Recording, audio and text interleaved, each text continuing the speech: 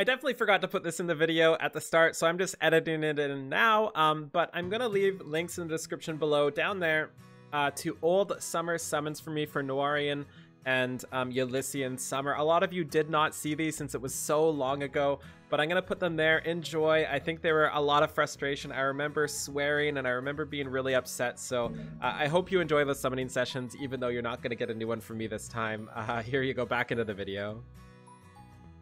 Hey everyone, Mango7Roll here, how we doing today? Uh, we did get these summer banners again, and I want to talk about it. There's a couple things that actually really surprised me about this. We've got the Nohrian Summer and the Ylissean Summer coming back here, and I want to talk about these banners, um, whether or not you should pull on them, how to use the units, and um, more importantly, the fact that we got them both at once. Um, that's what kind of surprises me here. If we go into our calendar, I'm not sure how far we've got to scroll back for this calendar. Uh, it's probably going to be a while. I probably should have had this sorted up ahead of time. Um, but to me, it seems really, really, really odd that they're giving us both of these maps at the same time, or both of these banners at the same time. I thought for sure there was going to be one of these banners during the first summer and one of them during the second. So we'd see um, Nohrian first, and then we'd see the other one second. I forget what their name is. Because uh, as you can see here, on the 10th, so in 15 days from now, we have another special hero summoning event coming up. Um, everybody kind of assumed and thought it was summer, and I do still think it is summer, but I think it's worth uh, mentioning or thinking about the fact that they didn't put one on each summer banner. Um, so, so this may mean there's a reason they didn't put one here and one on the 10th, and that reason might not be it might not fit with the theme, which means the summer banner won't be the same style as summer banner or something weird like that. Just thought I'd mention that. You never know, just in case. Uh, better better off mention it than just letting it go by and having the banner on the 10th be something completely weird. Um, alternatively, they could be doing this because they want to drain the hell out of us before this legendary banner, uh, which they're doing pretty successfully. So I want to talk about these units here, maybe uh, whether or not you should pull for them. Uh, first off, we have Leo in the top right here, and unless you are like in love with Leo, do not touch this guy with anything. He is just one of the worst tomes, one of the worst seasonals. If we take a look at my Leo here, um, I did my best to use him, but I just like, obviously I'm missing an A slot still. Uh, I just gave up on him. Like, I, I, tried and I tried and I tried. I tried to make him useful, and I tried to think about builds that might work with him, but his stats are just so unbelievably bad. And yeah, he's got Fortress Res, which is why his attack is so low right now. But I was just memeing and trying to figure out if I could get kills with Iceberg or something, and just nothing really worked. He's just not a good unit, and unless you love the guy to death, definitely skip him. Um, we also have Elise here, and Elise um, does share a color uh, with Xander. So let's look at Elise and Xander at the same time here. First off is Xander, and Xander is one of my favorite units to date. I just love the guy. Um, he's unfortunately a lot worse with dragons around, but before dragons he was fantastic, and I think after dragons he's also great. Uh, so if there's ever a place where um, you just want some bulky melees that don't need to tank tomes, then Xander is in a really good spot. Um, I bring him in almost every single arena assault. He handles basically anything that's melee. Like he'll handle all the um, all the greens and all the blues, no problem. He'll also get some offensive kills on some tomes or some archers. And not to mention, he comes with Infantry Pulse, one of the most sought after C skills, I believe.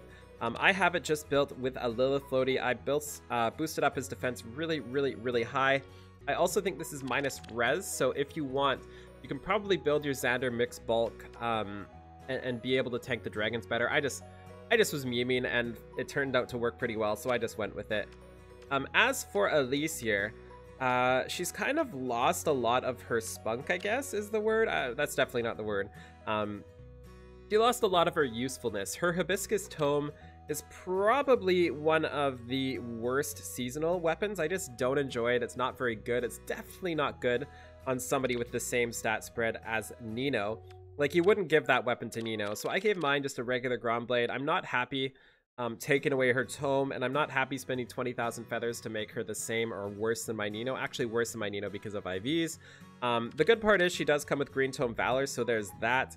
And as you can see, um, I, I have not invested in her. The summer banner last year was probably the biggest bust for me in terms of uh, units I did not use. So keep that in mind. She's going to be about the same as a Nino, and the longer we get into the game, the less useful somebody like Elise does uh, turn out to be. And she does take an insane amount of investment. You're not going to keep one of her skills, I don't think, outside of Green Tome Valor if you want that. And finally, we have Corrin, and Corrin's kind of in the same boat. She's a fantastic unit, and she is the second or third best Blade Tomer now. I'm not sure which one. Definitely the best blue, I believe. Um, can we find mine here? Here we go, and this is mine. And as you can see, another unit I just barely use. Um, I do have Sealife Tome here, which I don't want to take away because the animation is why I like her. Um, ideally, you'll probably have a Gronnblade or something like that there. And I just use mine to kill swords at this point, and it does work pretty well, especially with Hone. Um, so yeah, she's another one that's definitely worth pulling for. She does work with Sealife Tome, which kind of gives you an idea of how good she actually is. And um, yeah, she doesn't share a color, so that's fantastic here. So for the first Nohrian Summer banner here, I would for sure stay away from red.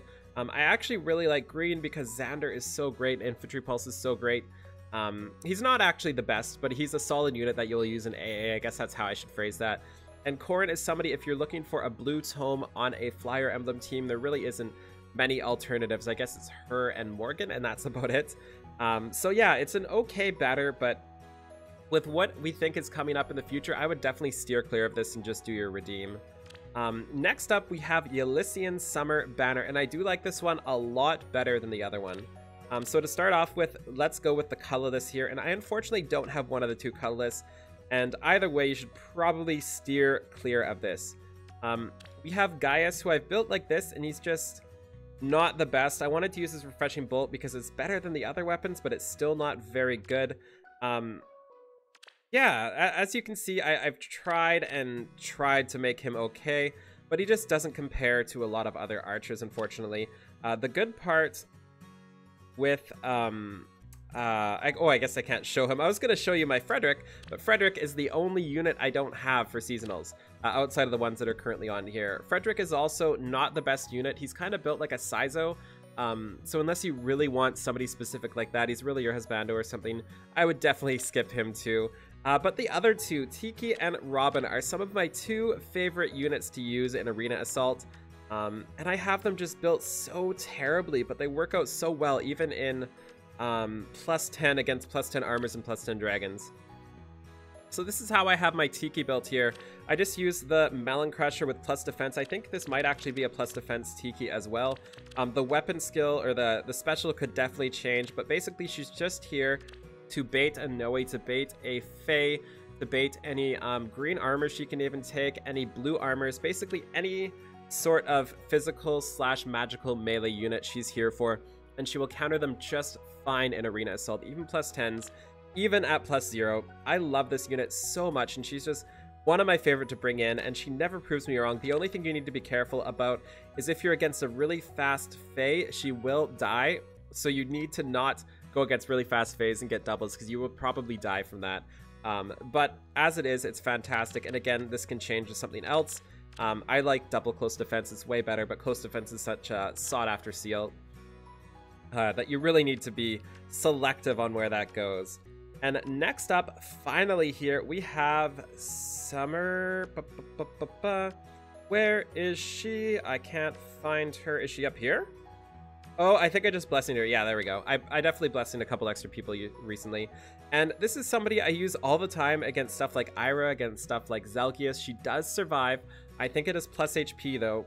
Um, all I'd use this for is sword breaker counters and sometimes um, other blue targets or red targets I want to take, but definitely I just bring her in um, to do Swordbreaker, and that's literally it. And it works out perfectly. Um, if I could go back in time, I would change the speed refined to defense or um, resistance and just say screw speed whatsoever with my arena assault unit and just um, use her as a Swordbreaker counter.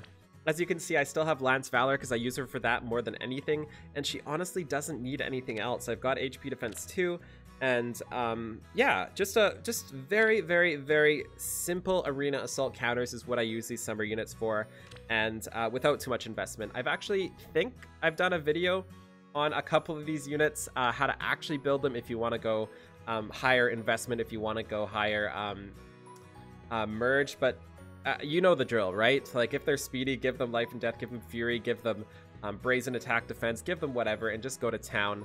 Um, Tiki is so wonderful uh, when she's heavily invested in. She gets so bulky. Um, yeah, and that's about all I wanted to talk about today, whether or not you should pull, and I don't think you should. Um, I think all of these are skippable, especially if you haven't had them for the last year. Like, I would be super sad without my Xander, and um, Xander, Tiki, and Robin are the three I use, like, 9 out of 10 times compared to the others, just to give you an idea. And if you watch the stream, you will see me bring them out basically every Arena Assault, so you've seen them in use as well. I use Gaius every now and then just against Flyers, but he always lets me down. And I use Corrin um, in BHBs and GHBs, and that's about it. I try to use Leo, and I get let down hard. So yeah, uh, that's about all I wanted to talk about. So thank you so much for watching. Feel free to like, comment, subscribe as always, and have a wonderful day. Bye, everybody.